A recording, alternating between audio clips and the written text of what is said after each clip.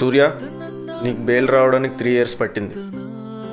కానీ నువ్వు చేయవలసిన పని ఒకటి ఉంది.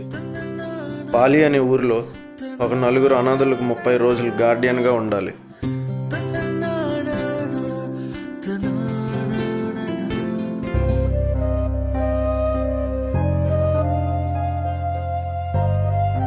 ఆ ఊరు గూగుల్ మ్యాప్స్లో కూడా దొరకదు. ఆ ప్రాంతంలో ఏది నిజమో ఏదబద్ధమో నీవు కనబెట్టలేవు.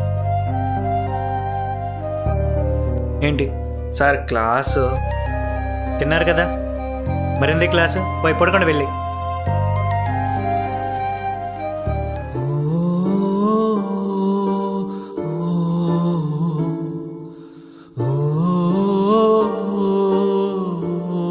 అరే మీ అందరికి ఒక క్వశ్చన్ అడుగుతాను సమాధానం చెప్పండి. ఇంతకు మీ చదువు ఏం సాధిస్తారా?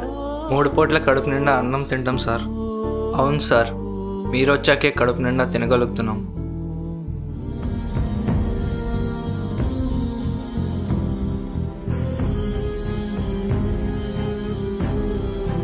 రంగురాళ్ళ కోసం బంగారాన్ని వదులుకుంటున్నాం. ఒక మనిషి కుడికొండకి నచ్చింది వేరే మనిషి ఎడం కొండకి నచ్చదు. అందుకే రాముడు మనకు గొప్ప రావణాసుడికి కాదు.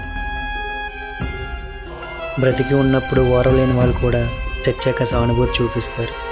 ఇదే మానవత్వం ఇక్కడ.